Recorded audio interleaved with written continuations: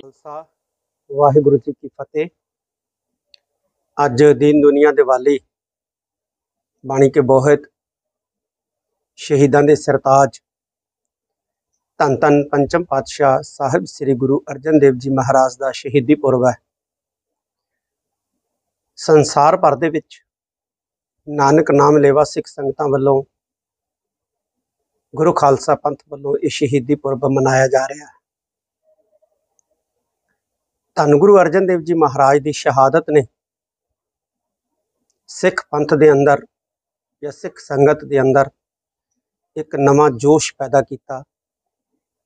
ਇੱਕ ਨਵਾਂ ਉਮਾ ਪੈਦਾ ਕੀਤਾ।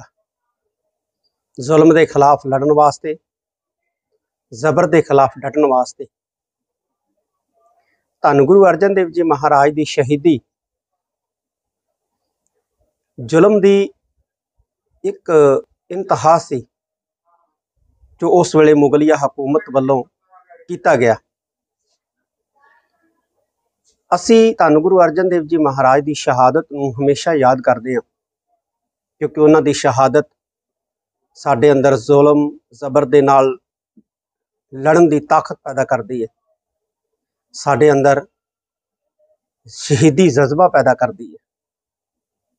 ਅੱਜ ਸਾਰੇ ਸੰਸਾਰ ਦੇ ਅੰਦਰ ਧੰਨ ਗੁਰੂ ਅਰਜਨ ਦੇਵ ਜੀ ਮਹਾਰਾਜ ਦਾ ਸ਼ਹੀਦੀ ਗੁਰਪੁਰਬ ਮਨਾਇਆ ਜਾ ਰਿਹਾ ਮੈਂ ਸਮੂਹ ਗੁਰੂ ਖਾਲਸਾ ਪੰਥ ਨੂੰ ਇਹ ਅਪੀਲ ਕਰਦਾ ਕਿ ਧੰਨ ਗੁਰੂ ਅਰਜਨ ਦੇਵ ਜੀ ਮਹਾਰਾਜ ਦੀ ਸ਼ਹਾਦਤ ਦੇ ਮੌਕੇ ਅਸੀਂ ਗੁਰਬਾਣੀ ਨਾਲ ਜੁੜੀਏ। ਆਪਣੇ ਅਮੀਰ, ਸ਼ਾਨ ਮੱਤੇ, ਮਾਨ ਮੱਤੇ, ਸਿੱਖ ਇਤਿਹਾਸ ਨੂੰ ਪੜ੍ਹੀਏ, ਸੁਣੀਏ, ਸਿੱਖ ਇਤਿਹਾਸ ਤੋਂ ਵਾਕਿਫ ਹੋਈਏ।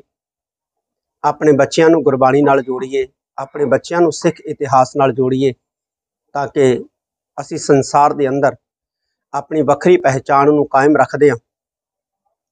ਅਸੀਂ ਚੜ੍ਹਦੀਆਂ ਕਲਾ ਦੇ ਨਾਲ ਜੀਵਨ ਬਸਰ ਕਰਦੇ ਅਕਾਲ ਪੁਰਖ ਪਰਮਾਤਮਾ ਦੀ ਬੰਦਗੀ ਭਗਤੀ ਦੇ ਨਾਲ ਜੁੜੀਏ। ਸਾਡਾ ਲੋਕ ਵੀ ਸੁਖੀ ਹੋਵੇ, ਸਾਡਾ ਪਰਲੋਕ ਵੀ ਸੁਖੀ ਹੋਵੇ। ਵਾਹਿਗੁਰੂ ਜੀ ਕਾ ਖਾਲਸਾ, ਵਾਹਿਗੁਰੂ ਤਨ ਤਨ ਸ੍ਰੀ ਗੁਰੂ ਅਰਜਨ ਦੇਵ ਮਹਾਰਾਜ ਜੀ ਦੇ ਸ਼ਹੀਦੀ ਦਿਹਾੜੇ ਨੂੰ ਮੁੱਖ ਰੱਖਦੇ ਹਾਂ। ਅੱਜ ਤੱਕ ਸ੍ਰੀ ਦਮਦਮਾ ਸਾਹਿਬ ਦੇ ਪਾਵਨ ਸਥਾਨ ਗੁਰਦੁਆਰਾ ਮਾਤਾ ਸਾਹਿਬ ਕੌਰ, ਮਾਤਾ ਸੁੰਦਰ ਕੌਰ ਜੀ ਪਾਵਨ ਸਥਾਨ ਤੇ ਸ੍ਰੀ ਅਖੰਡ ਪਾਠ ਸਾਹਿਬ ਦੇ ਭੋਗ ਪਾਏ ਗਏ ਗੁਰਬਾਣੀ ਕੀਰਤਨ ਹੋਇਆ ਸਮਾਗਮ ਕੀਤਾ ਗਿਆ। ਤੇ ਜਿੱਥੇ ਇਸ ਪਾਵਨ ਧਰਤੀ ਤੇ ਪਾਵਨ ਦਿਹਾੜਾ ਮਨਾਇਆ ਗਿਆ, ਉੱਥੇ ਸਮੁੱਚੇ ਸੰਸਾਰ ਭਰ ਵਿੱਚ ਗੁਰੂ ਨਾਨਕ ਨਾਮ ਲੈਵਾ ਸੰਗਤਾਂ, ਸ੍ਰੀ ਗੁਰੂ ਅਰਜਨ ਦੇਵ ਮਹਾਰਾਜ ਜੀ ਦਾ ਸ਼ਹੀਦੀ ਦਿਹਾੜਾ ਮਨਾ ਰਹੀਆਂ। ਸੋ ਸਮੁੱਚੀਆਂ ਦੇਸ਼ਾਂ ਵਿਦੇਸ਼ਾਂ ਦੀਆਂ ਸੰਗਤਾਂ ਨੂੰ ਇਹੀ ਬੇਨਤੀ ਹੈ, ਆਓ ਧੰਨ ਸ੍ਰੀ ਗੁਰੂ ਅਰਜਨ ਦੇਵ ਮਹਾਰਾਜ ਨੇ ਸਾਡੇ ਤੇ ਅਪਾਰ ਕਿਰਪਾ ਕੀਤੀ ਸਾਨੂੰ ਗੁਰੂ ਗ੍ਰੰਥ ਸਾਹਿਬ ਮਹਾਰਾਜ ਦੀ ਮਹਾਨ ਗ੍ਰੰਥ ਦੇ ਕੇ ਸਾਡੀ ਝੋਲੀ ਵਿੱਚ ਪਾਇਆ। ਬਾਣੀ ਪੜ੍ਹੀਏ ਬਾਣੀ ਦੇ ਧਾਰਨੀ ਬਣੀਏ ਤਾਂ ਕਿ ਜਿਹੜਾ ਸਾਡਾ ਜੀਵਨ ਆ ਉਹ ਸਫਲਾ ਹੋ ਸਕੇ। ਅਸੀਂ ਵੀ ਉਸ ਪਰਮਾਤਮਾ ਦੇ ਦਰ ਤੇ ਆਪਣਾ ਮੁੱਖ ਜਿਹੜਾ ਲੈ ਕੇ ਜਾ ਸਕੀਏ। ਵਾਹਿਗੁਰੂ ਜੀ ਕਾ ਖਾਲਸਾ ਵਾਹਿਗੁਰੂ ਜੀ ਕੀ ਫਤਿਹ।